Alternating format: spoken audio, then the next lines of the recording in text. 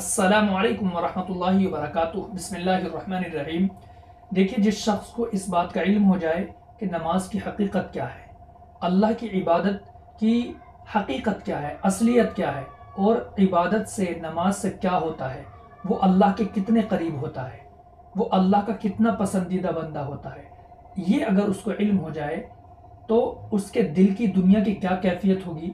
अगर आपको इसका अंदाज़ा लगाना है तो हम आपके सामने एक वीडियो पेश करेंगे।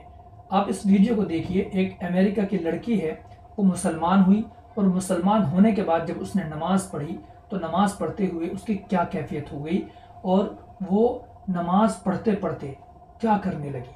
आप इस वीडियो को देखिए, फिर इस पर बात करते हैं।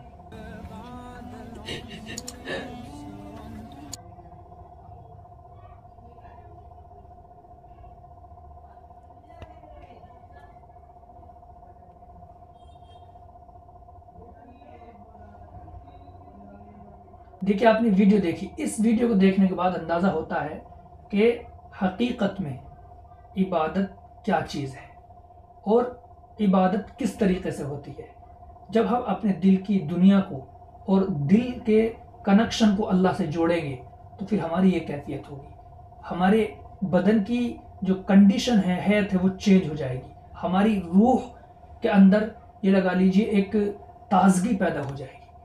लेकिन अगर हम नमाज़ पढ़ेंगे कि जहन हमारा कहीं और, हम कहीं और, ज़बान से कुछ और कह रहे हैं, हमारा जहन कहीं और है, माइंड कहीं और, फिर उस नमाज़ का कोई फ़ायदा नहीं। सिर्फ़ फ़र्ज़ अदा होगा। अल्लाह के यहाँ वो नमाज़ कबूल नहीं होगी। किसी काम की वो नमाज़ नहीं।